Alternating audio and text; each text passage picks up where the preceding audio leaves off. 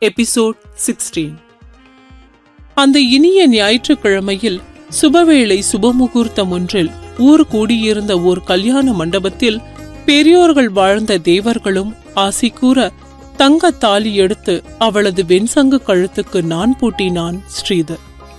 அங்கிருந்தோர் தூவிய அச்சதை மழையின் நடுவில் முழங்காலை கட்டிக்கொண்டு அமைதியாக அமர்ந்திருந்த தன் ஐஸ்வர்யத்தை பார்த்தவனின் விழிகள் பார்த்தது பார்த்தபடியே நின்றது. நிலவுக்கு அலங்காரம் செய்து கூட்டி வந்து மானுட பிறவியான அவன் பக்கத்தில் அமர வைத்தது போல நின்றிருந்தாள் அவள். அவளது அடர்ந்த கண்ணிமைகள் கொண்ட நயனங்கள் கூரான நுனிமூக்கு கொவ்வை செவ்வாயில் பூத்திருந்த கல்வெறி ஏற்றும் ஈரம் சிவப்பு நிற பட்டில் தங்க பார்டர் வைத்த கூரைச் சீலை மங்கை அவள் பூண்டதால் அழகு கொண்ட தங்காபரணங்கள். அனைத்திலும் சொக்கிப் போனான் ஸ்ரீதர். அவளுக்கு எப்படியோ அவனோ மகிழ்ச்சிக்கும் இந்த அழகு பெட்டகம் இனி வாழ்நாள் முழுமைக்கும் எனக்கே எனக்கா என்ற குறுகுறுப்புக்கும் இடையில் சிக்கித் தவித்தாள். அலை கட்டும்போது அவள் காதோரம் தொங்கிய லோலாக்குடன் உரசிய அவனது புறங்கையில் அவனுக்குள்ளும் கிர் என்று ஷாக் அடித்தது போல ஒரு உணர்ச்சியலை உடம்பெங்கும் எழுந்து அடங்கியது.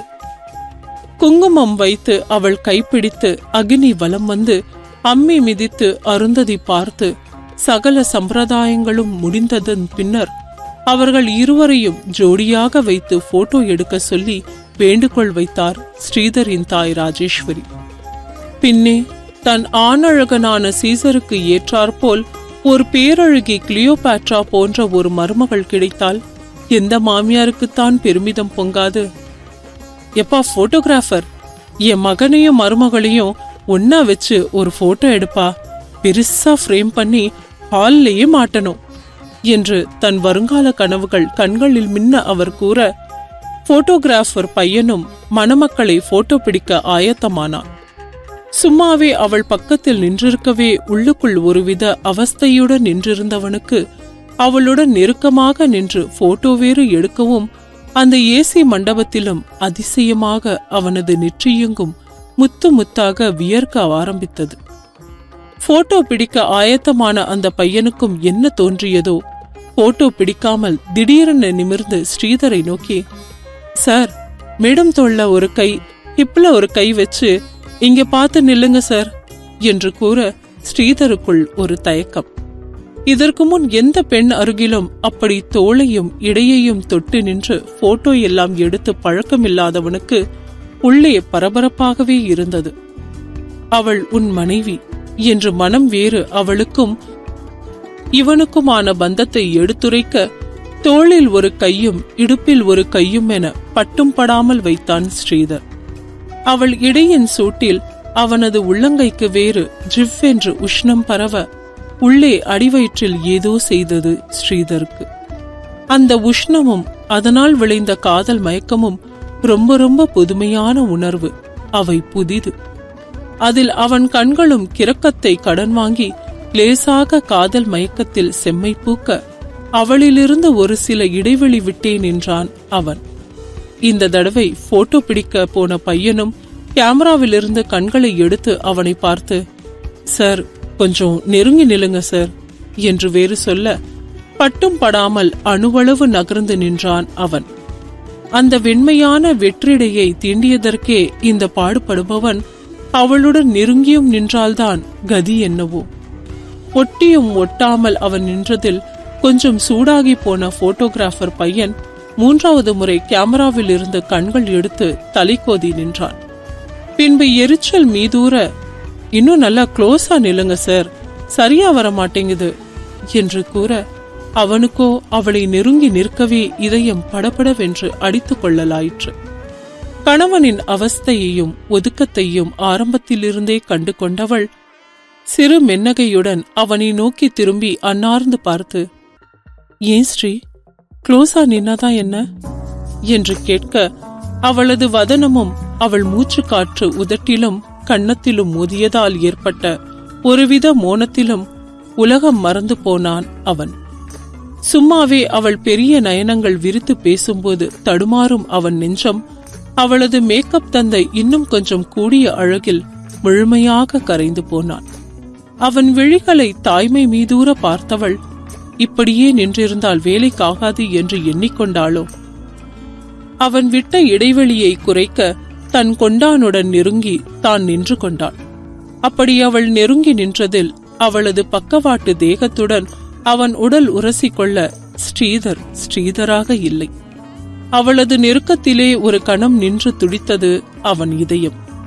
அவள் கணவனை நெருங்கி நின்றதோடு மட்டுமல்லாமல் தன் இடையில் பதிந்த அவன் கைமேல் தன் கை பதித்து ஊர் அறியாமல் ஒரு அழுத்தம் கொடுத்து தன் தெற்றுப்பல் தெரிய அழகாக புன்னகைக்க அவனோ அவஸ்தையுடன் இஞ்சி தின்ன குரங்கு போல முகத்தை வைத்துக்கொள்ள பளிச்சென்று அவர்கள் மேல் பீச்சி எடுத்து ஓய்ந்தது பிளாஷ்லைட் அழகாகவே கிளிக்கானது புகைப்படம். அவனும் மனிதன் அல்லவா? அவனுக்குள் இயற்கையாகவே கிளர்ந்தெழுந்த ஆசையில் அங்கனமே அவளை இறுக அணைத்து முத்தமிட வேண்டும் போன்று பொல்லாத எண்ணம் எழுந்தது அவனுக்கு. இருப்பினும் இடம் பொருள் ஏவல் கருதி தன் உணர்ச்சிகளை கட்டுப்படுத்திக் கொண்டான் ஸ்ரீதர். அவன் அவளருகில் தடுமாறி போனான். அவன் தடுமாறும் சமய சந்தர்ப்பங்களில் எல்லாம் அவன் உள்ளம் ஒரு பற்றுக்கோலாக தன் சித்தப்பா விக்கியை நாடுவது வழமை. இன்றும் அவன் விழிகள் சித்தப்பாவை தேட சிக்குவேனா என்பது போல கண்ணிலேயே படாமல் போக்கு காட்டிக் கொண்டிருந்தான் விக்னேஷ். ஸ்ரீதர் கல்யாணத்தில் வந்திருப்பவர்களை வரவேற்பது முதல் பந்தி உபசரிப்பு வரை அனைத்தையுமே இழுத்து போட்டு செய்து கொண்டிருந்த விக்னேஷிற்கு மற்றவன் பக்கத்தில் நிற்கவோ ஏதாவது டபுள் மீனிங் ஜோக் சொல்லி அந்த இடத்தை கலகலவென வைத்துக் கொள்ளவோ கூட நேரம் இருக்கவில்லை. ஸ்ரீதர் ஐஷோ கழுத்தில் தாலி கட்டும்போது அச்சதை தூவும்போது பக்கத்தில் இருந்த விக்னேஷ் எங்கு சென்றான் என்று கூட தெரியவில்லை. விக்னேஷை தேடிக்கொண்டிருந்தவனை நாடி வந்த அவன் தாய் ராஜேஸ்வரி யாரப்பா தேடுற என்று கேட்க இவனோ அப்போது மண்டபத்தில் குழுமியிருந்த கூட்டத்தில் விக்னேஷை தேடுவது நிறுத்தாது. சித்தப்பாவதாமா என்றார். சித்தப்பா என்றதும் அப்போதுதான் விக்னேஷ் பற்றிய ஞாபகம் வந்தவராக ஓ அவனையா தேடுற? அவன் இந்நேரம் நம்ம வீட்டுக்கு போயிருப்பான்பா? புதுசா பர்ச்சேஸ் பண்ண கட்டுல ஃபிக்ஸ் பண்ணி வச்சிருன்னு நான் தான்ப்பா அவனை வீடு வரைக்கும் அனுப்பிச்சேன். இப்போ நீயும் மருமகளும் போய் வண்டியில ஏறுங்க. மத்ததெல்லாம் வீட்டுக்கு போய் பாத்துக்கலாம். என்றுரைக்க அவனும் திரும்பி தன் மனையாளின் முகம் பார்த்து ஏதும் பேசாமல் கண்களாலேயே என் கூட வா என்று மட்டும் தான் அழைத்தான். அவளோ மனதிற்குள் அந்த கஞ்சாடையை என்னவென்று எண்ணிக்கொண்டாளோ தன் கைப்பக்கத்தில் லேசாக உராய்ந்து கொண்டிருந்த அவன் கைவிரல்களில் இடுக்கில் தன் கை புகுத்தி இருக பற்றி கொண்டாள். அந்த சின்ன பற்றுதலில் மீண்டும் சுக அலைகள் பீச்சி அடித்தது அவனுக்குள். ஒருவேளை ஆட்கள் கூடி நிற்பதால் அச்சப்படுகிறாளோ என்று எண்ணிக்கொண்டவன் அவளை தேற்றும் முகமாக தானும் அவள் விரல்களை இறுக்கி பிடித்துக் கொண்டான் அவன் காதலித்த முதல் பெண்ணும் அவள் இறுதி பெண்ணும் அவள். அவளே மனைவியாக வாய்த்தது போதாதென்று உரிமையுடன் அவள் காட்டும் நெருக்கம் வேறு. அவ்வாண்மகனுக்கு சொல்லில் வடிக்க முடியாத வாலிபத்துக்கு உகந்த உணர்வுகளை கொடுத்தது. காரில் ஏற முன்னம் அவள் விழிகள் தந்தையையும் சித்தியையும் தேட சரியான நேரத்தில் அங்கே ஆஜரான அவள் தந்தைக்கோ தன் மூத்த மகளின் கல்யாணத்தை கண்கூடாக பார்த்ததில் நெஞ்செல்லாம் நிறைந்து போன சந்தோஷம் முகத்தில் அப்பட்டமாக தென்பட்டது.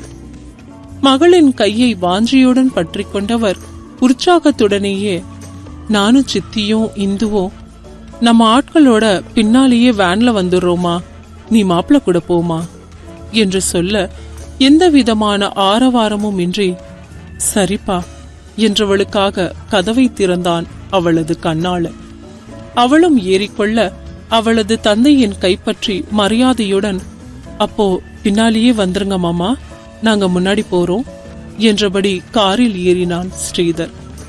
அவளோடு கார் பயணம் அவளோடு தொடங்கும் அவன் வாழ்க்கை பயணமோ? அவள் காட்டிய சின்ன நெருக்கத்தில் அந்த ஆசை மயக்கத்தில் இறங்கி போய் அவள் பக்கத்திலே அமர்ந்திருந்தவனின் மனதில் ஓடியது எல்லாம் ஒரே ஒரு கேள்விதான். இன்றைய இரவு எப்படிப்பட்ட இரவாக இருக்கக்கூடும் என்பதுதான். அவன் வலியே சென்று தொட்டால் காமுகன் என்று எண்ணிக்கொள்வாளா? இல்லை ஒரேடியாக மறுத்தே விடுவாளா? இல்லை அறைக்குள் நுழைந்ததும் உறங்கி விடுவாளா? ஏகப்பட்ட கேள்விகள் அடுத்தடுத்ததாக பிறந்தது அவனுக்குள். அவள் வாழப்போகும் அவளது புகுந்த வீடும் வந்தது. காரில் இருந்து இறங்கியவன் இன்னும் உள்ளே அமர்ந்திருக்கும் அவளது விழிகளை பார்த்தான். அதில் குடிக்கொண்டிருந்த அச்சமும் தயக்கமும் அவனை ஏதோ செய்ய அவள் பக்க கதவை திறந்து அவள் இறங்குவதற்காக என்றே கையை நீட்டினான் அவன். அவளது இதழோரம் அழகான மென்னகை படர ஸ்ரீதரின் கைமேல் தன் கை வைத்து கொண்டானியே துணையாக கொண்டு இறங்கிக் கொண்டாள் அவள்.